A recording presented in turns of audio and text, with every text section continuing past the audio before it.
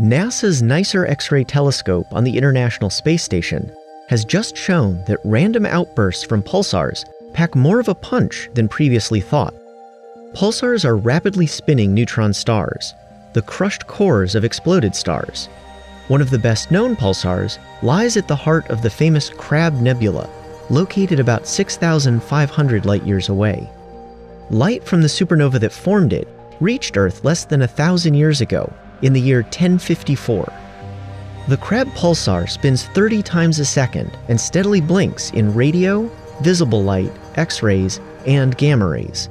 But it also emits random jumbo bursts called giant radio pulses that can be more than 10 times stronger than its regular signals.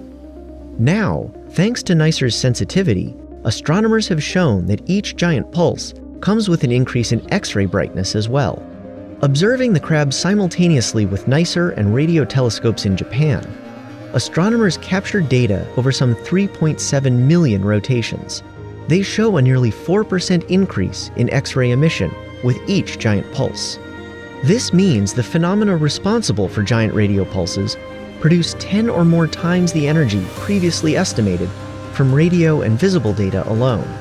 Astronomers think all these signals originate from particle interactions in the pulsar's rapidly spinning magnetic field, but the details remain poorly known. Better understanding of giant pulses may help scientists figure out how pulsars like the crab do what they do. It may also provide us with insight into a much more powerful phenomenon called fast radio bursts, which are linked to spinning neutron stars in our galaxy and others much farther away.